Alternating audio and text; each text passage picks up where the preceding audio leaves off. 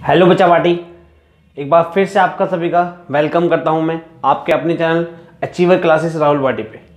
जैसा कि मैंने आप सभी से प्रॉमिस किया था कि अगर आपकी सीबीएसई से रिलेटेड कोई भी अपडेट आती रहेगी तो मैं आपको अपडेट देता रहूँगा।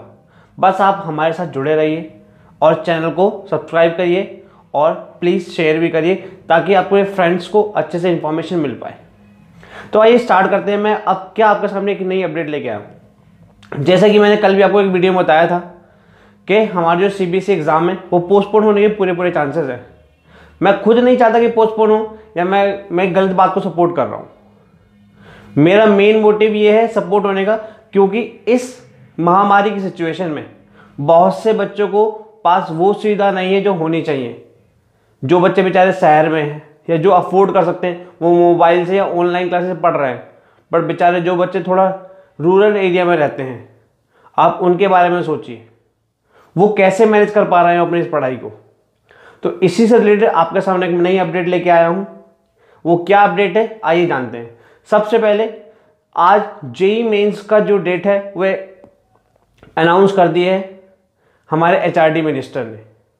लास्ट ईयर जो जेई मेन होता था, जनवरी फ़ेज़ वन वाला, वो सिक्स जनवरी से अप्रॉक्स आपका नाइनटीन जनवरी ट्वेंटी जनवरी तक हो जाता था।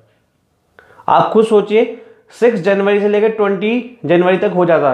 बट इस बार जो फ़ेज़ वन की जेई मेन की डेट शीट आई है, वो ये है आपकी, वो 22 से 26 फैब में होगा।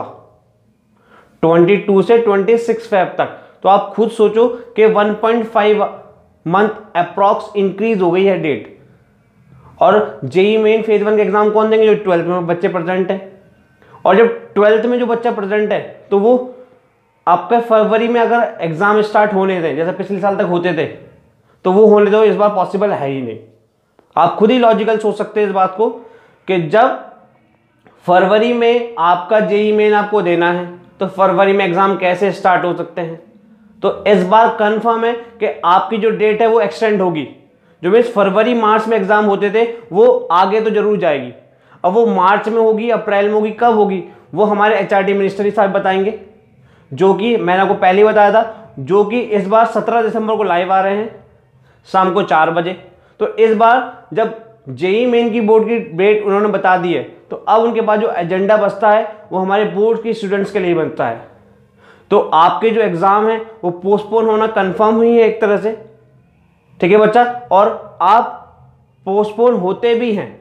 ठीक है? पोस्टपोन होने चाहिए, जैसे कि मैंने आपको बताया, बहुत सारे बच्चों के पास वो सुविधा नहीं है जो उनके पास होनी चाहिए, जिससे वो ऑनलाइन पढ़ सके। तो उसी को देखते हुए आप अपनी तैयारी अच्छे से रखें और हमारे साथ जुड़े रहें। जैसे भी कोई अपडेट आती रहेगी, मैं आपको देता रहूँगा। Thank you everyone